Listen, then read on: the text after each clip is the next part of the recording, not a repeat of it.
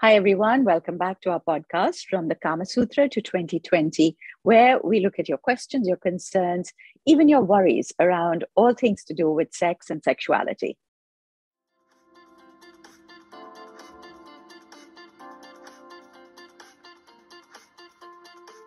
As always, we have with us Dr. Anvita Madan Bahel. Anvita, as you know, is a psychosexual therapist, and she brings the psychological perspective to the advice that the Kama Sutra has to give. But we also are very fortunate today to have with us Pallavi Barnwal. Pallavi is also a sex educator with a qualification from the um, United States. But in um, in our session today, she's coming on as a fantasy specialist. So we're very excited. And uh, Pallavi, welcome. Thank you, Seema. It's great to be on your platform. Really honored to be on this show. Thank you for being over here. Uh, Anvita and I have often discussed this idea of fantasy. And we have uh, we get a lot of questions about it. People who write in about what fantasies they have. Then people talk about the guilt that they feel. Then some people talk about how they would like to fantasize but they can't. And some people actually don't know anything about it right Anvita? we have people who would like to have a better sex life but can't well, understand that it's all to, down to fantasy yeah and i would love to hear pallavi's perspective because i think what happens is that fantasies are you know like we've said fantasies could be jumping off a plane and having sex while you're doing it but there is a discomfort with people allowing themselves to go there. You know, they still want to stay in the moral compass of what the bedroom might look like, whereas the fantasies can be anything. Uh, but I do think they get scared and the morality kicks in about, oh, that's not nice. How can I have sex in the public? How can I think I must be a bad person that I'm imagining having sex in public? So I think that is really hard for people to overcome when they think about fantasies. So, Pallavi, tell us why do you think um, fantasy is really important? I mean, you have done a lot of work, you run workshops on it. Why do you feel it's so important? Yeah. Uh, so, you know, uh, we often uh, equate love with that initial phase of passionate love. Like, whenever they think of love, people feel that there should be something which is called butterflies in the stomach and then two years or three years down the line because that is the time uh, when it starts fading and you move into this uh, you know uh, companionate love. And then they start missing that old eroticism like where is the spark? Why don't i feel turned on? You know when i'm with this partner day in and day out especially like since we are here we also have to understand the broader context of a pandemic. Like you know people were like couples were forced to stay in they did not have those uh, outs. And that has also created a lot of uh, impasse in the uh, erotic dynamic between the couple. So they because most of the people uh, they have always kind of bounded themselves from these you know as anvita was saying that moral restrictions like we judge ourselves. So the self the you know there is no other judgment. It's the judgment i inflict on myself uh, and this is this has gone so high the control has gone so high that even before thinking about something, I feel like, should I think or not? Like something there is in the brain, and I fear even thinking. So, and why we need, uh, why we are talking about fantasies again to answer the first, you know, the question is where the spark has gone. I think it's a great way to kind of uh, re- reactivate or bring the eros, which is the passion. Like they're looking for the passion, and passion is linked to novelty. Passion has a straight uh, linkage to no- novelty and the familiarity brings down the passion. So fantasies are a great way to bring novelty uh, inside you because as much of our sexuality is driven from ourself. Uh, i love this quote. I don't i'm not remembering the person but he said that love is a decision rather than something i feel. And i i feel this is so empowering and why we're not talking more of that that love is a decision which means that I need to be as much sexually awakened inside myself rather than just kind of putting it all on the other person that you fail to, you know, arouse me. So fantasies are a great way to go inside my internal world and see the limitless possibilities. So right. Um, we've often said that you know we people would love to be thinking that they have great sex. I mean, people like to have good sex if they're in a relationship. That's something that they would like to feel that they have. But most people don't and I think one of the big ingredients is definitely fantasy. I was just going to say that I think I love this idea of fantasy being the novelty. And so, in some ways, it is the new flavor right? Like you know it's it's the thing saying every day you're having dal chawal dal chawal dal chawal and then one day you say okay let me imagine this dal chawal feels like whatever. And there's nothing wrong with dal chawal. Nobody's saying that that familiarity is bad. But the excitement that comes with putting in a new flavor you know a new tadka in some ways is the fantasy so i think that's uh, so i like that i love that idea of the fantasy being a novelty um, into the mix. And i think i really like this idea that it's a decision that you have to make um, because that's something that we always say that you have to decide in your own head that you're going to feel the pleasure. So speaking from the point of view that it's a decision that we're going to make for a lot of people it's still a very scary idea. Tell us how if you were not familiar with this, how would you begin to fantasize? Okay. Um, so first of all, uh, we have, uh, you know, when we think of fantasy, we kind of inadvertently relate it to sexual fantasy.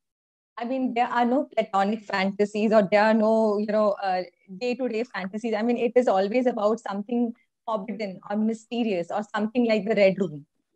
where I need to go and I need to just make sure that no one is watching me. What I say, and I'm going to quote uh, Dr. Esther Perel, and she has said this that uh, every person has the capacity to fantasize, which is which is great to know that like some people say, oh, we have never fantasized. So we have always fantasized. We are uh, consuming a lot of media. You know, we are consuming a lot of porn, uh, visual erotica. We have had uh, sexual experiences. So there is a lot of fodder inside I think fantasy is more about turning into what is already existing in you and start with a blank slate. I mean, we get into those sexual scripts. You know, that is the major block of shoulds. Like, this is how it should be. Uh, the man is supposed to be like this, the woman is supposed to be like this, the sex is supposed to be like this, like the classic, you know, porn case of kissing, uh, you know, squeezing the breast and maybe intercourse, like this, this, this. It's very linear. I think fantasy is all over. And uh, first of all, you also need to see uh, your state at that time. You cannot be fantasizing when you are rushing for a deadline, or you need to cook a meal, or your child is hankering after you. You need to give yourself space, time, and relaxation when your body is relaxed, because stress is a libido killer. So, uh, the ideal time could be after a shower, during having a bath, or uh, before you're hitting the bed like you know you're in a rested state or you are in a vacation. So you make sure your body is relaxed. Make sure you have that kind of a mental privacy you know to uh, think about fantasies. Then uh, uh i would say maybe pick something uh, which is something from the past that has worked for you uh, which could be a great sexual experience that you have had. Think about what kind of setting it was how you were touched uh, what we were feeling that time, uh, what was the time in the moment, and take that as a cue. Maybe it could be uh, some kind of a you know uh, a, a moment where you felt very youthful. So take the themes bring out the themes from your past sexual experiences. We often st- get stuck in the details. Either we kind of uh, romanticize the past and we say, okay, this person, this person, but there is certain theme emerging from that sexual experience. So you can bring those themes that what was uh, something that was like a turn on. Thirdly you can uh, always be on the look for sexual turn ons. Like uh, to say you know i was I, like before the session i was working on my laptop and there was this person who was just kind of walking by and kind of just gave me a look and i was like okay he's looking at me. And i think that whole you know vibe was something which i felt was like a fantasy. Or maybe uh, you are at the airport and you are just maybe having something by yourself and you see a nice hunk like you know a guy who's just sipping a coffee and you just look at them. Okay does that kind of attract you? People get scared because they think attraction means that you know they are actually cheating or betraying. Don't go into the logistics. It is just imagination. I, I, what i really want to just hone into what pallavi was saying is that pick up on themes that have been excited. Like imagine the sensation and it could be themes that you have maybe during a movie you've suddenly felt a flutter a scene that has or you've looked at you know you've imagined yourself in a certain place or a certain time could be the airport the thing. Release that boundaries. And i think what is really important to just tie up with what uh, pallavi was saying is don't get you know fixated on how can I have sex on the airport? Right? You know, people will be watching, something will happen. Just let go of those things. It's in your mind, it's an imagination. Um, it is it is a tool, it is a source that brings up the arousal and excitement. So it's not something that you practically, you don't need to go and see if practically I can actually do this or execute it someday maybe but for now for the starters it is just something that you're imagining that leads to arousal. Um, so really it's open. It's you know you can think of any and everything. Uh, and you can have sex any and anywhere. And we constantly talk about this novelty factor don't we? That you know people are looking for something new um, that the chemistry has died out etc so find that find what excites you. You never have to actually do it, but find what excites you because that is really the final frontier. Everything is possible. And I just want to come in. I know Pallavi said the word youth, and I had a reaction to it. Sex is boundless. What she, I think, as she can explain herself, but I think what she was trying to say is, as a, you know, when there was passion and there was a lot of passion, you can have passion at 70. So it's not, it's about what was that moment that felt full of passion um, so i'm just throwing it out there it, it actually i guess for me that was about uh, like you know that first moment when you're in college or in school and you have that yeah, first crush yeah. and that that feeling of like that ridiculously excited feeling that you exactly. get and as you get as i've gotten older you still fantasize you still fall in love you still feel passionate but you don't have that that that ridiculous feeling somehow Seema, you've not had multiple relationships. Like... That's the thing. Okay, if you sorry. find a new boyfriend, it will happen. okay, let me just, I'm just about to go and tell Rahul that I need to go and um, find another partner just to feel that excitement again. okay.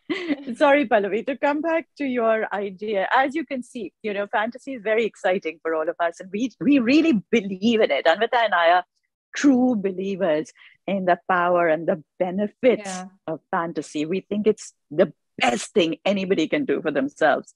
Let's see if we can actually help people create a, a fantasy script. So, do you have some suggestions? Do you have some starting points for the fantasy script? Yes, uh, pleasure is very subjective. You know, it's it's uh, be, it depends on how we interpret it. So, I I'm going to give you a cue to all the readers and viewers, and um, you can take it from here wherever you want to go. If you feel like, okay, you're going there, you can erase it, come back. So you can always erase it and come back. So this is very, uh, uh, it's a very flexible script. Imagine yourself that uh, you are in a shiny red car. Okay, it's it's a beautiful car and it is parked on a secluded lane which is overlooking the ocean. And there is someone in the car with you. What are you going to do with that someone? Ooh. Anvita, are you going first? Oh, am I have am I have to build on it? I'm going to the rocks. I'm getting out of the car. I'm going under the sky, under the stars, and I'm going to the rocks, finding a flat. Um, so I love the stars in the sky and the outside. So, um, so we've already said that it's nighttime. So we. Oh, I didn't. I that's my. I made it nighttime. Okay. Yeah. Yeah, yeah. and it fine. could okay, be the so sand or the water coming in as well. Oh, I'm going wild with this fantasy. So that's why I'm going. this has been one of my big fantasies always. Um, on the on the beach, secluded beach, not necessarily nighttime, but yeah, we could go with nighttime. Uh, so I'm sorry, Pallavi, but the red car got left behind. Okay. Uh, because I think this also, Anvita, mm. Pallavi, this is an old age thing. Because when I was younger, I think when we were all in Collins and the only place you had was your boyfriend's car. Today, uh, I my back hurts. I need more space. So okay, so sorry, I, don't. Same thought. I was like, कैसे होगा गाड़ी में like how is it going to happen more space like you know. yeah so we we moved out we but, went um, to the logistics which we were not supposed to go to we were, but anyway yeah, we went to the logistics which we were not meant to go to so i hope for everybody listening that this is a really good example for you to understand that we're going into logistics but your body is with you 24 7 so you, i guess we think about it but I'll tell you another logistic that always stops this fantasy. I have this huge fantasy about it. And I always think, how much pain is the sand and the rocks on the beach going to cause me when I'm lying down over there? So that is another logistic. That so okay, I'm going to make a conscious decision. I'm going to fantasize on this next time, and I'm not going to think about the the, the fact that the sand and the the grit can be painful. Okay, move on to the next fantasy. I mean, yeah, and you know, uh, the good thing with the fantasy is the mental arousal leads to the physical response. Like you already started feeling in your body uh, that arousal. I think that's uh, also people should notice that it, it just it's a full body experience. You know, fantasy is not just there in your mind; your body just starts. It's a system. So uh, I, I would say some people actually have heard some people can fantasize themselves to the extent of orgasm. Oh yeah, course, definitely. I always fantasize myself to the extent of orgasm. I think that's the natural conclusion to all fantasies. But um, I was just saying that you know, automatically when you start fantasizing, it starts to put a smile on your face. It, it, yeah, absolutely. It, there's just that it lights you up from the inside, and very few things in life light you up from the inside. So yes. this is a this is a happy pill. Hmm. And I and what I also wanted to add was that in some ways just to you know release the pressure of what a fantasy has to be um, I feel Seema and I went to something very cliche. When I think about the beach, the water, and all, it's such a cliche fantasy, right? But that's okay. It doesn't need to be this, oh, I'm going to make the best fantasy ever. You know, it is it is so personal to you.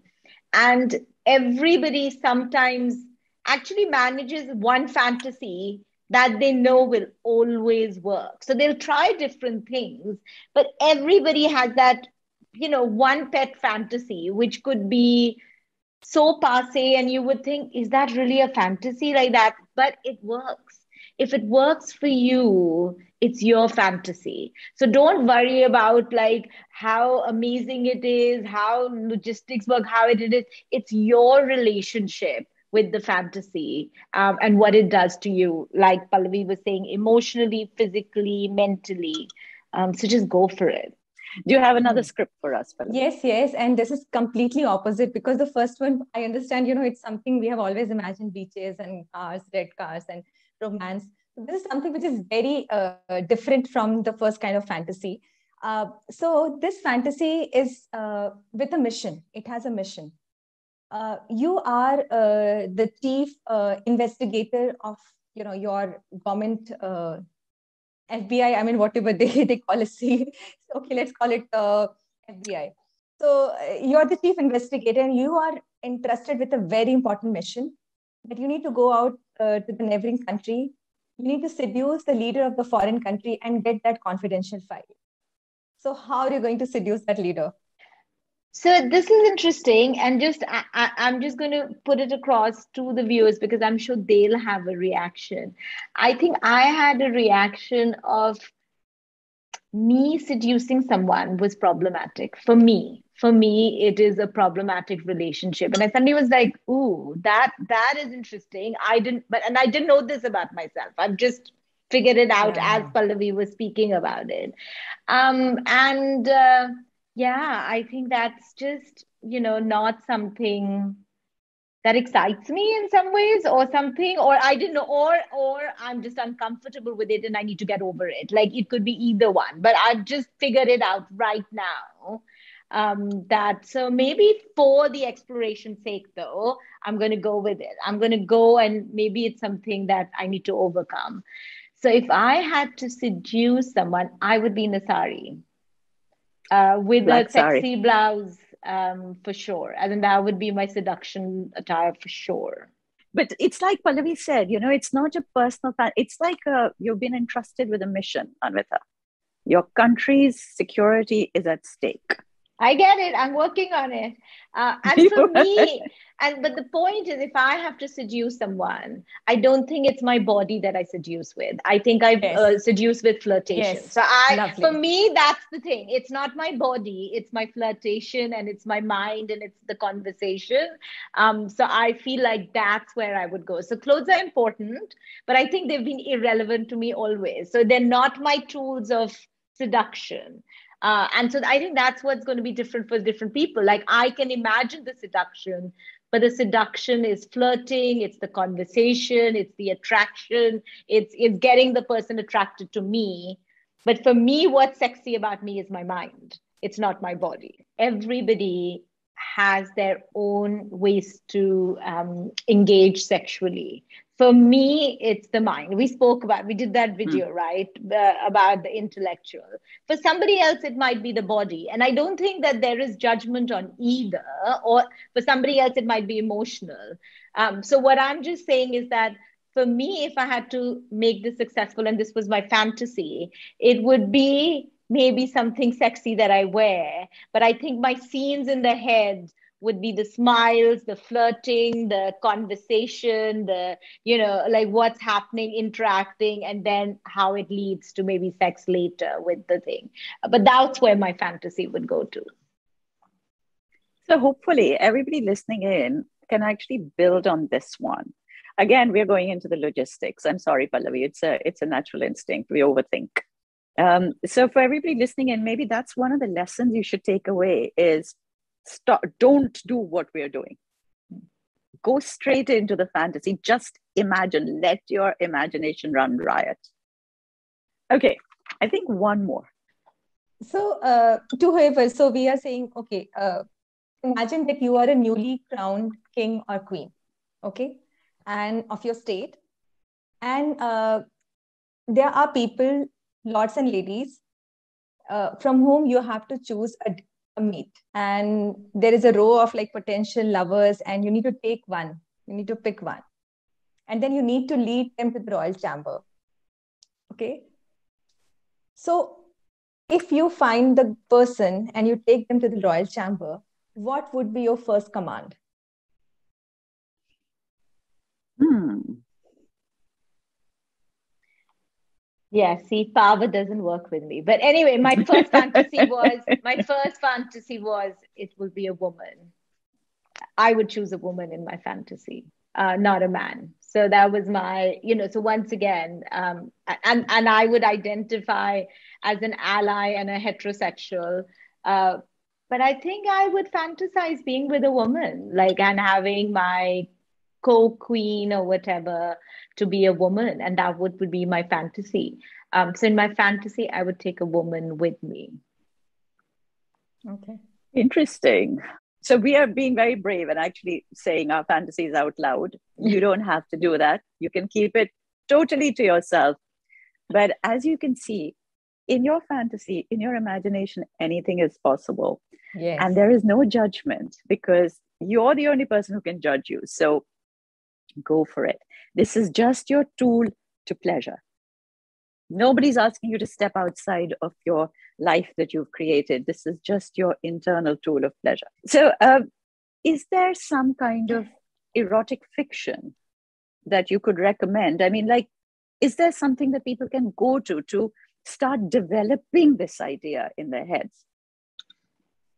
Yeah, totally. Uh, so, you know, I would say uh, Khajuraho is a great place to begin with if you are in India. Uh, I remember this quote of Osho. He said that, you know, if you are uh, addicted by sex, you need to go and meditate in Khajuraho to overcome those uh, compulsive sexual tendencies. And I was very uh, kind of fascinated by this. So I went there.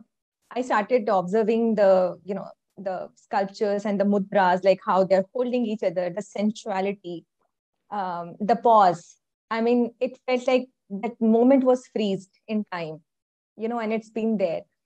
And uh, to also because a lot, because we get so intimidated by the whole culture that the culture is the gatekeeper of sexuality. I think that's the great way to break that mind block because you know it's right there in the heritage. Okay, it's right there in India.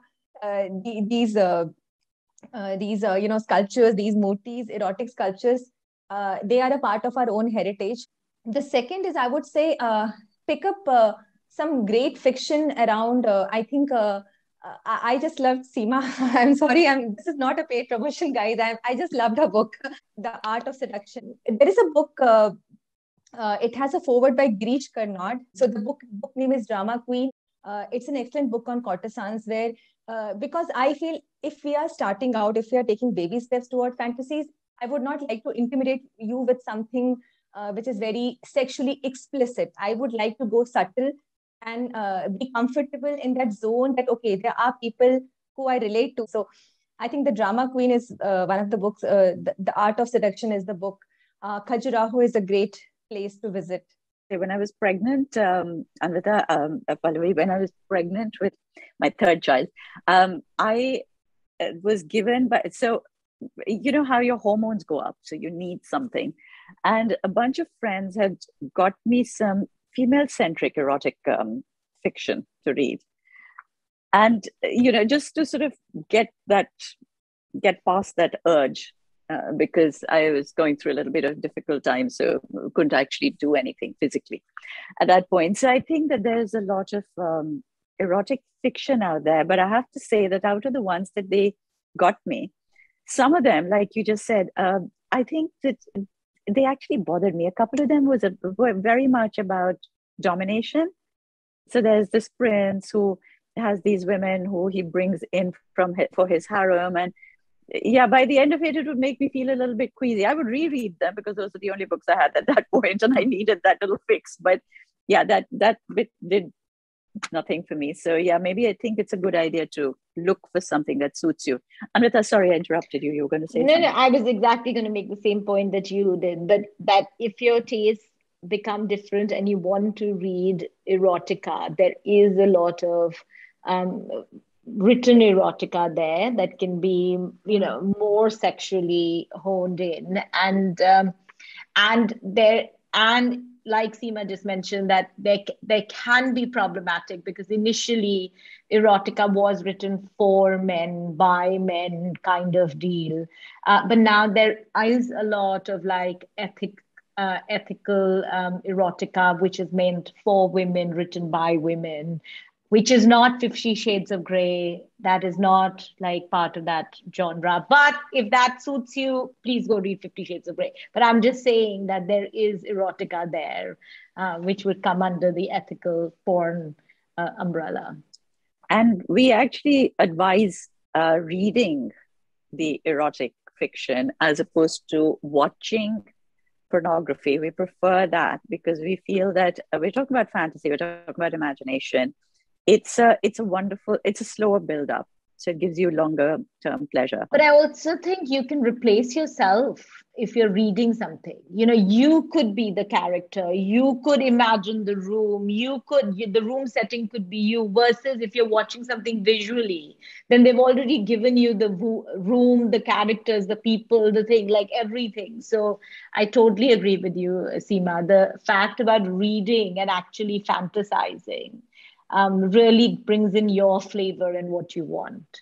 So, uh, Pallavi, can we actually address one question?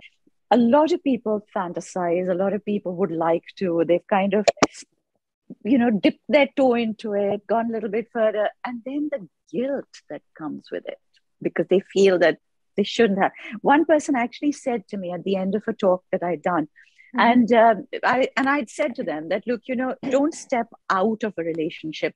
Every relationship loses its novelty factor, and that's when fantasizing comes in.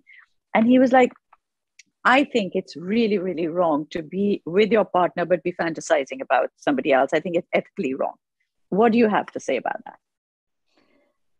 So yeah, uh, I mean, this is a very uh, hotly con- contested uh, controversy: the ethics of fantasizing as you said that a lot of people even the ones who are fantasizing feel that they're betraying and they come to me like you know some kind of seeking validation that am i doing wrong or not? Uh, i would say uh, it's it can go either way you know depending on the situation and your relationship. If you're fantasizing in order to endure sex with your partner you probably shouldn't be having sex with them in the first place Okay. But if you are fantasizing to simply amp up your arousal, but you are still very much into the sex you are having with the person, I don't see much harm because of this. What I uh, follow is a guideline uh, that is your mental imagery improving the sex or it is distracting you from something unpleasant you would, you would rather not face. I think that's the that's the key to fantasizing. That are you trying fantasizing to heighten the sensation or to numb your reality? Hmm. That's a really good point, actually. It's a very good point to make. Mm. Are you fantasizing to heighten your sensations or to numb your reality? Mm. I mean, in my book, I think, frankly, if that's what you need to do, you can't escape your reality, then that's also okay. But that's a really, really good point, actually. Anvita? Yeah. I love the quote, you know, heightened. Uh, and I think that becomes because it's so in some ways numbing your reality is escapism that's what pallavi is talking about that you're escaping um, the present in some ways and that's why you have to fantasize about somebody else. Um, and that is very different from you know just working on your passion and arousal and getting excited in some ways. And and i also want to add to it that you know what pallavi is talking about the ethics and the morality. So there is something about the other and who is in your fantasy but i think there's also people start judging themselves for what they are doing in their fantasy and i think both um, you know um, are problematic like so who you're with you know pallavi answered and i wonder if Pallavi also wants to speak to what you're doing in your fantasy. And that can be sometimes concerning for people as well. You know, for example, anal sex. Like people will suddenly say, oh, like, you know, that's such a bad thing to do. You know, I can't. And I'm, I'm keeping it really simple because I think anal sex is quite common. But, uh, you know, there could be so many other fantasies that people could have problems with. Yeah, I, I we recently also received a few emails from people who are indulging in their fantasies, but are then being attacked by either so much guilt or for or whatever reason.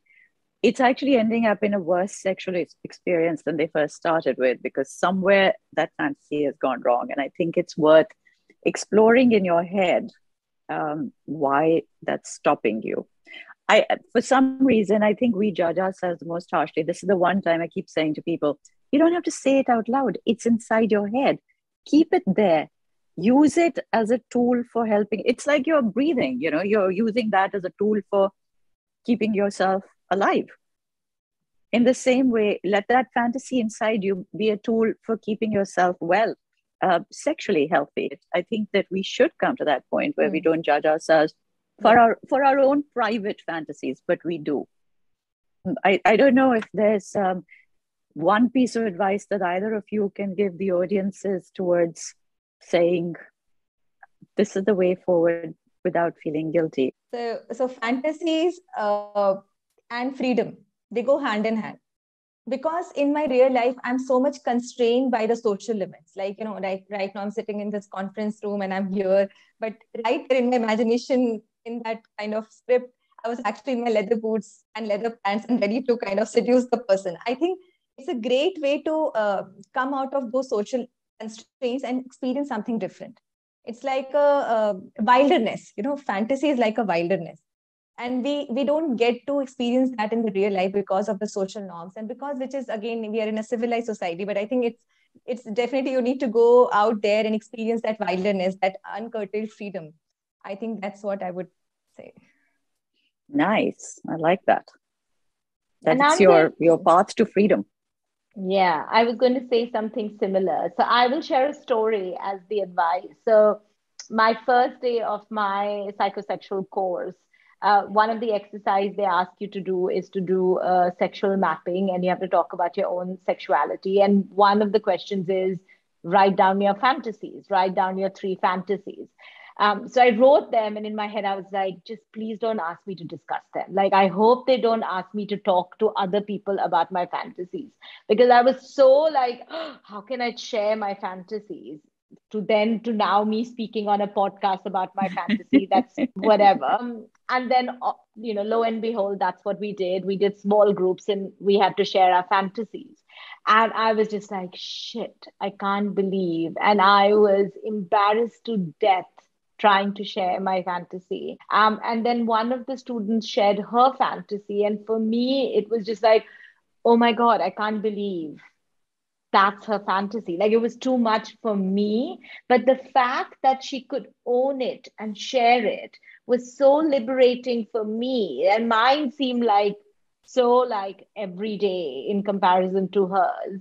Um, and and they really shared very edgy fantasies, which would really, you know, you would question, they could cause controversies and they could cause um, uh, you know co- uh, basically moral moral arguments around and everything.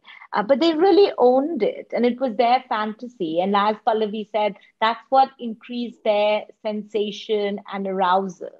Um, and it wasn't about is it right or wrong? It was about what excites them and what they want in it. And for me it was similar to what doing it was liberating to see that if somebody can own that, why can't I own my own? And why can't I push myself in some ways? And, and like today, I pushed myself to something that yes. felt uncomfortable to me. So, yeah. So I think that's what it is. Keep, it's okay to push ourselves a little bit, um, to just nudge ourselves a little bit further. It's in our head and it's a fantasy, it's not in reality. Well done, Anvita, to begin with. I, pat on the back, my darling. Uh, but um, no, it's it is something that we all have to get past. We've all had to walk that path yeah. of getting past um, our our own personal obstacles. I think that there is always this thing about um, there's a lot of stories from our mythology, from our cultural background, where they say that um, oh so and so you know she was so pure and she could she was so pure that she could carry water in an unbaked ghada, in an unbaked pot. And then one day she merely looks at someone on the side of the river and she thinks, oh, he's very good looking. And just thinking that uh, she loses her purity and the, the pot breaks and she can no, she no longer has that power. So this idea has been fed to us that the um, even thinking about something is bad, that the mind is a very powerful yeah. thing, that if you think about it, you want to then put it into action. But like basically women for the longest time have even been we've been told that um, sexual pleasure is forbidden to you even inside the mind. So we do have a lot of taboos a lot of obstacles to break through to get to the next point. So we all totally understand that fantasizing is not an easy thing to do. And some of our fantasies are so kinky and it's not just in india um, it was uh, jung's book wasn't it the red book that was forbidden which talks about all the um, aberrations and fantasies in the brain. And for a long time, that was forbidden in the West. So we have a lot of obstacles to cross just to encounter and meet our own fantasies. But we encourage you to do that. We we know that it's not a comfortable thing to do, but um, as we said, there are benefits and happiness at the end of it, and it's just inside your own head. So stick to it. So mm. I, I have some really interesting notes that I've actually made from what Pallavi said, and I really would like to repeat them because I want everybody to take this away. Um, one is that this is about mental privacy. It is about your privacy. You do it in the privacy of your mind. You don't have to share it with anybody, so don't feel guilty about it. But also the fact that you create mental privacy, as um, Pallavi said. So don't kind of do this in the midst of trying to do something else. If you've ever tried it you'll know it doesn't work. If you ever think oh my yeah. god okay i have like one minute. Let me squeeze one out. You you can't. It it it has its hiccups so give yourself the mental privacy to have a fantasy even if you allocate yourself 10 minutes. Enjoy it. Don't do it in a rush. Um, it's about choice. So it's about anything that you can think about it's your choice. It doesn't have to be anybody else's fantasy. You don't have to take lessons in this. It's totally yours, nobody else's. And let no one ever tell you that you have to fantasize along with somebody else's ideas. It's all yours. Um, as Pallavi said, it brings novelty to your relationship. So you want to understand how to stay in a monogamous relationship where you feel that the passion has died out, the chemistry is gone. Fantasy is your go to tool. Use that.